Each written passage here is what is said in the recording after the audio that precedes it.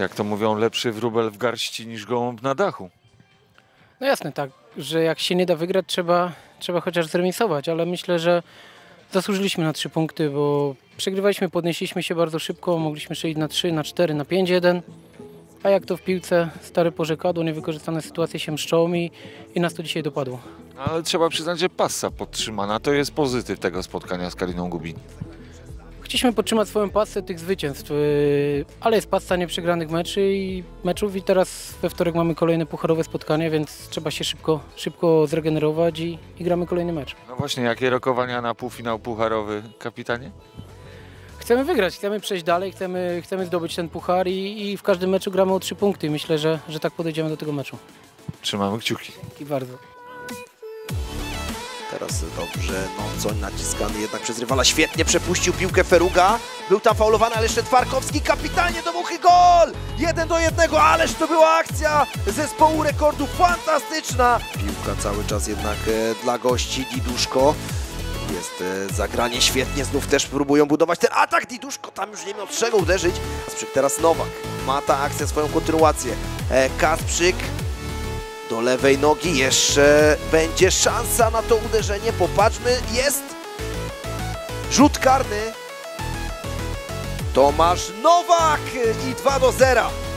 Wyczuł intencję strzelca Tymoteusz Seweryn, ale kapitan zespołu rekordu zdobywa kolejną bramkę.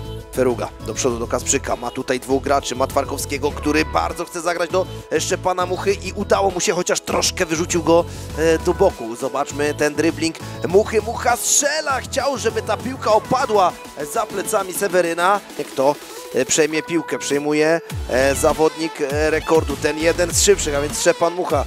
E, sam sobie wypuszcza piłkę Mucha. Teraz e, jednak czeka na partnerów. Z drugiej strony jest Feruga. Do niego piłka. Feruga z pierwszej piłki e, strzela, ale obok bramki.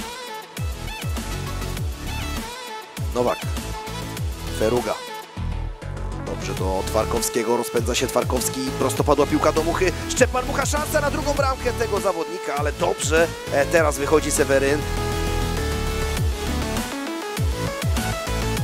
Szczepanu, jakbyś miał ocenić swoją postawę w tej rundzie?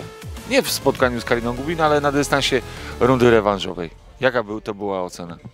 Myślę, że takie ósemka by była odpowiednia. Na skalę 10-stopniową, jak rozumiem. Tak, tak, oczywiście. A teraz wróćmy do sobotniej konfrontacji z Kariną Gubin. Chyba za dobrze poszło przy pierwszej sytuacji e, strzeleckiej. No, gdzieś tam pierwszą sytuację strzeliłem, się cieszyłem bardzo, no i nie skoncentrowałem się na następnych okazjach. Była wyborna choćby ta po podaniu Tomka Nowaka. No, gdzieś tam myślałem, że obrońca to przetnie i się nie skupiłem, a powinienem sobie na spokojnie przyjąć i dołożyć byle gdzie mogłem. Zapytać bramkarza, w który róg chcę. A teraz puścił piłkę w kozioł e, e, obrońca e, zespołu gości i nie wykorzystał tego Dawid Kasprzyk. Wszystko tutaj e, dosyć e, dynamicznie w tej drugiej połowie. Dość niepewna interwencja, ale skuteczna Kotelby też trzeba przyznać, że ze sporą dozą szczęścia bronił ten bramkarz, ale teraz już e, wyciąga piłkę e, z siatki. No, a jak ze zdrowiem na finiszu ligowego, pucharowego sezonu? No, na szczęście kontuzje mnie omijają. Zdrowie w sensie kondycja, motoryka i tak dalej dopisują? Y, Tak, tak, myślę, że tak, chociaż czasem mnie złapie dętka, ale generalnie jest w porządku. Jak u pozostałych chłopaków? Myślę, że każdy jest w, od- w odpowiedniej dyspozycji. Powodzenia zatem już w najbliższy wtorek w meczu pucharowym. Dziękuję bardzo.